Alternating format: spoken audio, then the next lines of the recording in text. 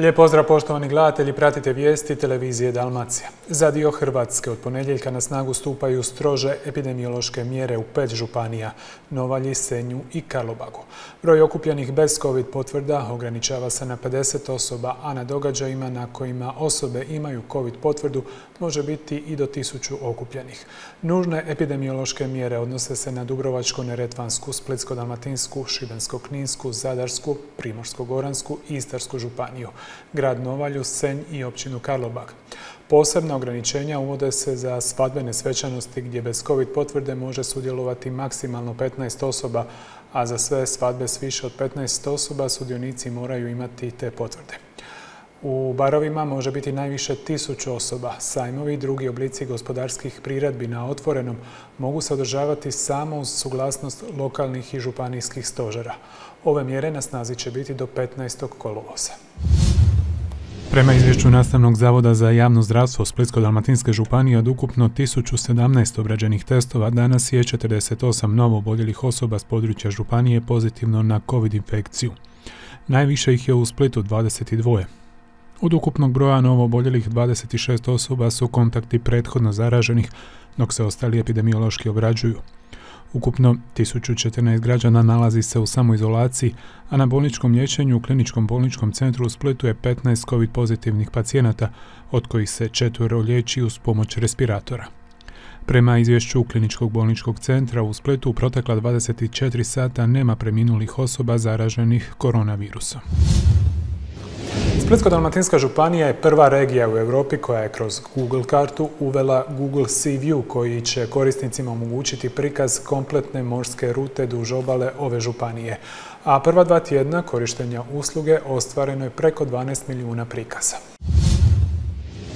Google Sea View virtualna je šetnja obalom. Inovativan je to nadograđen servis informacija za nautičare, skipere, ribare, turiste, domaće i strance.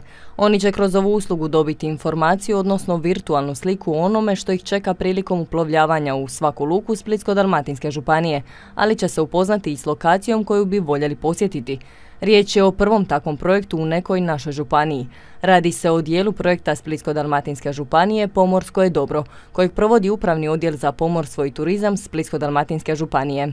Ovo je jedan vrlo bitan alat, on je za početak prezentacijski vrlo bitan i turistički i športski, onome dijelu koje mene i tu ponajviše zanima i tu zaštiti naše najljepše obale na svijetu u Splitsko-Dalmatinskoj županiji. Dakako da će ovo biti nadogradnjom samog Google sustava i ovih alata, biti će nam vrlo koristan alat za planiranje u prostoru. Mi smo donali integralni plan upravljanja obalnim pojasom i danas sutra kad se same mogućnosti na tom alatu nadograde moćemo i lakše upravljati obalnim pojasom, a već ga sada možemo štititi kada integriramo naše GIS podatke sa našeg GIS preglednika koji će izaći idući tjedan sa podacima iz Google Sea View-a dobit ćemo lakšu kontrolu nad pomorskim dobrom, vidjet ćemo tko ima gdje koncesijska odbranja koncesije, dokle su granice pomorskog dobra, dokle je samo pomorsko dobro i ko zapravo koristi. Lako će se moći usporediti današnja situacija koju vidite neposredno očima i ona koja je na Google Sea View, je li on odgovara trenutačnom stanju i ukoliko ne odgovara možete preko naše platforme pomorsko-dobro.dalmacija.hr prijaviti samu devastaciju. To će biti korisno i za inspektorate i za županiju, za kontrolu što se događa s koncesijama i s koncesijskim odobrenjima općinama i gradovima, ali i za same građane koji će moći vidjeti što se događa. Turistički i sportski značaj ovog projekta je iznimno važan, a Splitsko-Dalmatinska županija je prva koja ima ovako dostupan servis. Pravi ovo primjer suradnje županije i turističke zajednice i dio plana integralnog upravljanja obalnim područjem i morskim okolišem. Google Sea View je u biti Google Street View na moru i mi smo ga napravili u suradnji sa Splitsko-Dalmatinskom županijom jedan inovativan projekt koji ima svoje marketinške aspekte, svoje operativne aspekte, koji i tekako diže naš nautički turizam, odnosno marketing nautičkih turizma na jednu veliku, odnosno na jednu veću razinu gdje prednjačimo u Europi i Hrvatskoj upravo po toj inovativnosti u marketingu turizmu. Izvođač ovog projekta Denis Orlić, radeći na ovoj platformi na terenu, sustavno je snimio tisuću kilometara vodene obalne crte s područja drvenika, velog drvenika, malog, Čiova, Šolte, Braća, Hvara, Visa i Lastova. Destinacije i lokacije iznimno važne nautičarima i skiperima. Deset dana snimanja, 4 terabajta materijala, milijun i 300 fotografija na Googleovom Street View i 13 milijuna prikaza do danas. Šta više od toga? Opekli Tisuću, da, e, tisuću kilometara snimljenih, a tisuću milja prijeđenih. Za sve to, opekline i to se ne računa. jedna, jedna kava i nijedan ručak e, i dva mjeseca uploada e, svih materijala na, na Googleovu kartu koji sad ostaju tamo trajno ali imali smo veliku sreću, većinu vremena smo imali lijepo vrijeme, plavo nebo i, i svi ti naši prostori, sve te naše obale izgledaju fantastično. Ipak je vrijedilo? E, ja sam super zadovoljan i privatno i, i poslovno, ovo je stvarno ovaj, ispunjenje snova svakog dalmatinca, to je da obiđe sve otoke, nama se ni, uglavnom nigdje ne ide, tako da većina to ne, ni ne napravi nikad, a ovaj, ali je sve skupa stvarno, stvarno ovaj, super i super jedno iskustvo, jedan doživljaj. U svijetu regatnog jedrenja Hrvatska je poznata širom svijeta kroz jedrenje u takozvanim malim klasama, ali u svijetu jedrenja velikih regatnih brodova na međunarodnom polju još uvijek nije otkrivena destinacija. Kod prezentiranja projekata organizacije regata upravo za ovu skupinu vlasnika i posada, jako je korisno imati alat poput Google Sea View-a, pomoću kojeg se novim klijentima može prezentirati lokacija samog jedriličarskog polja, ali i cjelokupna infrastruktura poput marina obale i grada. Gledajte, nautika i eto, mogu reći akting je nešto što se u Hrvatskoj događa već dugi niz godina, ali svjedočimo zadnjih evo, godinu i po dana o jednom e, povećanom interesu ozbiljnog jahtinga, odnosno super jahtinga. E, isto tako, unutar e, s ovim projektom mogu reći da će se jako dobro moći prezentirati cijela naša obala i vlasnicima, agentima i klijentima tog nautičkog proizvoda. I evo, vjerujemo da će Hrvatska u sljedećih, ja bih rekao, možda dvije do tri godine postati jako, jako dobro E, organizirana, prepoznata destinacija. Naravno, uz određene pretpostavke e, investicija e, od same pomorske infrastrukture, znači privezišta za, jahte i sve cijele infrastrukture koja je nužna, do svih ostalih dodataka poput visoko kategoriziranih smještajnih kapaciteta i na kopnu, ne znam, ozbiljnih shopping destinacija, gastro ponude, enološke ponude koja je najbitnija u stvari u toj kulturi jednog e, nautičkog e, užitka i života e, na moru i s morem. Realizacijom ovog projekta Turistička zajednica Splitsko-Dalmatinske županije postaje prva turistička zajednica koja je s Google Street View prikazom pokrila gotovo cijelu obalu u svim svojim općinama i gradovima. Google Sea View doveden je do nekih interesantnih nepoznatih lokaliteta, poput bajkovitih skrivenih uvala i malih otočića na Pučini. Splitsko-dalmatinska županija je njime preuzela kontrolu na svom području nad svim značajnijim društvenim, kulturnim i prirodnim objektima i lokalitetima za turističke i komunalne potrebe. Prekomjerna tjelesna težina uz epidemiju koronavirusa jedan je od vodećih problema koji utječe na opće zdravstveno stanje osoba. Hrvati po tom pitanju imaju najbolji ili najgori rezultat ovisno kako se gleda na to da smo se kao nacija našli na vrhu liste najdebljih europljanja. Hrvati su uvjerljivo najdeblja nacija Europske unije, potvrdila je studija Statističkog ureda Europskih zajednica. Nezavidnu brojku od 70% muškaraca i 60% žena s prekomjernom tjelesnom težinom komentirala je nutricionistica Iva Tokić, koja je istaknula kako nije iznenađena ovakvim rezultatom. Pa uopće me ne čudi to s obzirom na neke naše navike i s obzirom na naše normaliziranje debljine. Nekako nama je sasvim u redu da imamo višak kilograma i kad se nekako osvrnemo oko sebe zapravo primijetimo da velika većina ljudi ima višak kilograma. Međutim, ne, mislim da radimo dovoljno po tom pitanju. recimo, pekare su veliki problem, općenito djeca, znači svaka škola kraj sebe ima pekaru, djeca se ne kreću dovoljno, općenito se ne promovira ta fizička aktivnost i nekako mislim da je stanje svijesti dosta nisko po pitanju pravilne prehrane. Iako Italija i Francuska imaju mediteransku prehranu kao i Hrvati, oni su se smjestili na sam kraj ljestvice. Dokazano je da oni jedu više ribe, dakle da, da su više nekako, da se drže tog mediteranskog tipa prehrane, zapravo mi smo od svih ovih mediteranskih zemalja zemlja koja najmanje jede ribu. Znači usporedbi sa Grčkom, Francuskom, Italijom, mi smo nekako na samom dnu ljestvice, tako da mislim da je kod njih ta mediteranska prehrana imala svoj nekakav utjecaj. Ona smatra kako zapravo niz okolnosti utječe na povećanje indeksa tjelesne mase. Pa nekakav e, neorganiziran dnevni ritam, previše stresa, nedovoljno kretanja, i općenito nerazmišljanje o hrani. Dakle, ako mi razmišljamo o poslu, kako ćemo ispuniti sve te nekakve dnevne obveze, onda jedemo kad smo gladni. Dakle, ne planiramo svoje obroke, nego kad osjetimo tu nekakvu bol u želucu, pojedemo prvo što nam je pod rukom. Primijetila sam da ljudi s kojima sam prije radila, koji su uspjeli izgubiti kilograme, da su u vrijeme te, e, tog lockdowna, da su zapravo vratili te kilograme i dobili još kilograma, tako da e, poznavajući one ljude koji su prije imali problem, vidim da su zapravo još veći problem imali kad je, kad je došao taj lockdown. Nutricionistica Tokić smatra kako je pandemija u svijetu uvelike utjecala na porast broja osoba s prekomjernom težinom. U tom periodu nekako procao je taj biznis e, naručivanja hrane, tako da mislim da je sve to utjecalo. A još je uz to i e, nekakav psihički status, emotivni status, a mi često jedemo i zbog straha, zbog nervoze, zbog stresa, tako da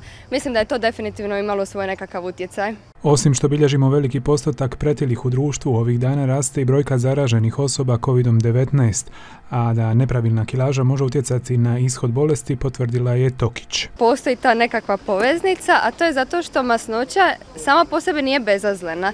Recimo kad se nalazi na području stomaka, proizvodi svoje nekakve hormone i upalne faktore i ako mi imamo upal u organizmu i na to još se zarazimo, onda je zapravo ta zaraza i općenito upalno stanje puno teže, puno gore. Tako da uopće nije čudno što ljudi koji obole od covid koji su pretili, imaju puno gore simptome.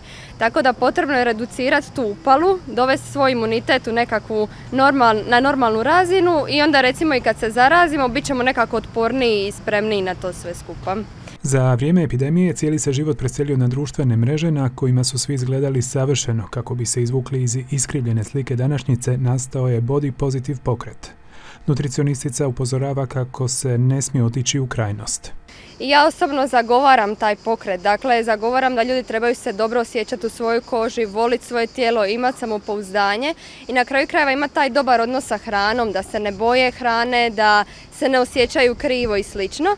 Međutim, s druge strane ne trebamo promovirati e, debljinu ko takvu, pretilost ko takvu. U redu je prihvatiti svoje tijelo, ali u trenutku kad smo mi u zdravstvenom riziku, onda trebamo preuzeti odgovornost za svoje zdravlje i zapravo napraviti nešto po tom pitanju.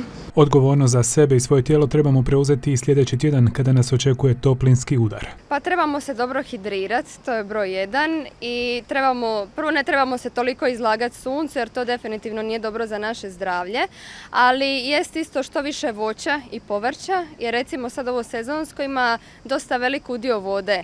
Pa onda kad jedemo ne znam breskve, lubenice, kad ne znam eh, jedemo nekakve salate, onda i na taj način hidriramo svoj organizam bez da direktno pijemo vodu. Tako da lagana hrana i puno vode.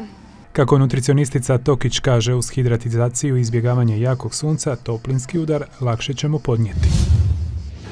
Trenutak koji će zasigurno pamtiti generacije, otvaranje je parka za sva vremena na Poljudu. Brojni navijači okupili su se kako bi prisustvovali svečanom otvorenju. Upravo uz pomoć ovog parka i ideje da se u njega upišu imena svih donatora, odnosno osoba koje svoje ime žele na ovom mjestu, do sada je prikupljeno 17 milijuna kuna. Deset godina od osnivanja udruge Naš Hajduk i pet godina od početka projekta za sva vremena, došao je trenutak i za otvaranje istoimenog parka. Netom prije utakmice s kazahstanskim Tobolom brojni navijači okupili su se podno zapadne tribine uz spomenike hajdučkim ikonama Vukasu i Matošiću, kako bi nazočili otvaranju spomenika svih navijača bijelih. 2011. godine klub navijača Torcida Split osnovao je naš Hajduk sa ciljem okupljanja članova i sa ciljem stjecanja dionica kluba. E, jednostavno navijači su u tom trenutku osjetili da trebaju vratiti klub i svojim članovima i svojim navijačima da tako bude zauvijek za sva vremena. Danas, deset godina poslije, e, imamo preko 30 tisuća aktivnih članova, u rekord godini 2016. imali su preko 42 tisuće članova, a prije pet godina krenuo je proces stjecanja dionica kluba. Danas imamo 26,39% e, dionica kluba, e, nećemo stati na tome, ićemo dalje i e, kroz sve ove godine imamo veliki broj donatora koji su stali uz ovaj projekt i uz cijeli taj otkup dionica. Upravo danas imamo otvaranje, svečano otvaranje koje je prošlo stvarno emotivno, tematskog parka za sva vremena kao zahvala svim tim donatorima i svim onim navijačima koji su stali na prvu crtu obrane onda kad je bilo najteže. Tematski park za sada broji više od tisuću upisanih imena. Mnogi su poznati unutra, znači od pjevača do poznatih sportaša. E, nema uopće smisla nikoga posebno zdvajati, ja pozivam jednostavno svoje gledatelje, građane Splita i šire da prošetaju do toga parka, da pogledaju kako to sve skupa izgleda, jer stvarno izgleda fenomenalno. Jedno od imena koje je upisano u ovom parku za sva vremena je i ono kultnog hajdukovca Ivana Gudelja. Ako jednu rečenicu bi rekao u uvodu e, legendarnog sportskog komentatora Mladan Delića da je ovo ludnica. Drugo, e, ovo je povijesni dan danas, Hajdukovoj povijesti e, i zahvaljujemo ja baš s moje strane udruze naš Hajduk na ovoj izuzetnoj ideji da su dali šansu svim navijačima koji su vezani za ovaj poseban klub. On je nešto iznad, nekima je to život, neki ljudi to više vole, čak neću reći obitelj ili tako dalje, žive sa tim. To je neobjašnjeno, mislim da to nijak klub na svijetu nema. Što se mene tiče, ja sam dio Hajdukove povijeskog igrač, za mene nije bilo dvojbe da se ode, da jednostavno prihvatim i uplatim tu donaciju koja jest i da bude evo, nekako vezano za navijače koji su ovdje upisani. Hajduk i navijač Hajduka to je poseban odnos. To je jedno srce, jedno tijelo, jedno duša. To je nešto što ko ne osjeća teško može razumjeti i zato kad vidim ovakav predvedeno ovakvu evropsku utakmicu, ovakve ljude, ovakav odnos ovdje, ovo je park za sve vremena, ali ja bih ga nazvao da je to vječni park. Ideja za spomenik svim navijačima krenula je prije nekoliko godina javnim natječajem za idejno rješenje. Imali smo dosta dobar odaziv raznih arhitekata i studija. E, stručni žiri i stručna komisija odabrala je najbolje rješenje. Nakon toga krenuli smo u realizaciju koja je trebala nekakvih dvije godine. Opet i u tom procesu realizacije samoga parka veliki broj donatora se javija, pomogao nam je i ono stvarno svima od srca hvala. E, nama su inače planovi bili da prošle godine otvorimo park, međutim radi situacije i mjera nismo mogli, jer velika nam je želja bila da veliki broj navijača dođe u park, da stvarno taj dan bude i fenomenalan i ono spektakularan, kao što je današnji dan bio. Ono. Kad smo vidjeli natječaj, kad smo vidjeli uvjete natječaja i koliko je to genijalno organizirano, no, nismo mogli vjerovati da postoji u Hrvatskoj neki natječaj na koji je na tom nivou organiziran skupa sa vrlo profesionalnim žirijom, raspisom natječaja i svega. Pošto smo oboje navijači Hajduka, rekli smo ok, idemo se prijaviti na to, pa šta bude. I neki dogovor je bio u startu, ma znaš šta, ako dobijemo donirat ćemo tu nagradu, nećemo uopće uzeti nagradu. Ali je isto tako dogovor da nećemo predati, e, nećemo predati projekt na natječaj ako mi ne budemo zadovoljni.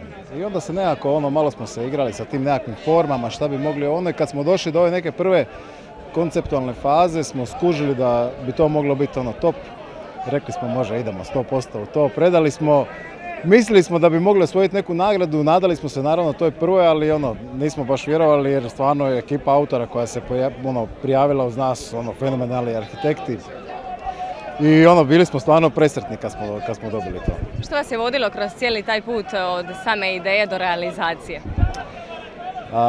pa s jedne strane ti kreneš e, u to onako dosta nekako ono, dječije, naivno, kreneš to raditi. Onda malo po malo shvaćaš zapravo ono, cijelu nekakvu tu ozbiljnost svega toga, ono, promišljaš jako puno o tome. Pa vidiš lokaciju, poziciju, stadion, pa gledaš značaj svega toga. svih tih stvari se lagano prisjećaš i u nekom trenutku počneš osjećati ogromnu, ogromnu odgovornost jer vidiš zapravo koji je to neki fenomen ovoga, koji, se, koji se razvio oko Hajduga kroz ono cijelo jedno stoljeće i, jednostavno ono, ne, ne, nešto ono predivno, nešto što u principu nadilazi bilo koji nekakav normalan projekt. Slobodnih mjesta za upisati svoje ime u ovaj park za sva vremena još ima, a poziv svima koji imaju želju za tim uputio je bivši igrač Hrvatskog nogometnog kluba Hajduk Ivan Gudelj.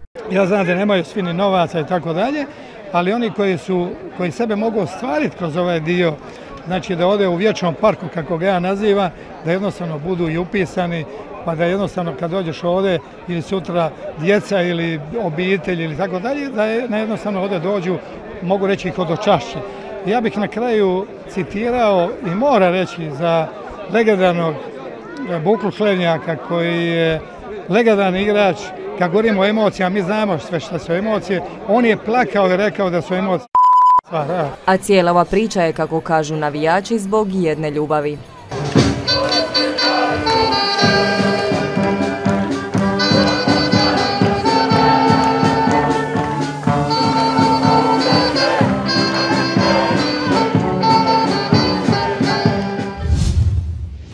Poštovani gledatelji, hvala vam na pozornosti. Bilo bi to sve u vijestima televizije Dalmacija za danas. U nastavku programa slijedi i vremenska prognoza. Srdačan pozdrav.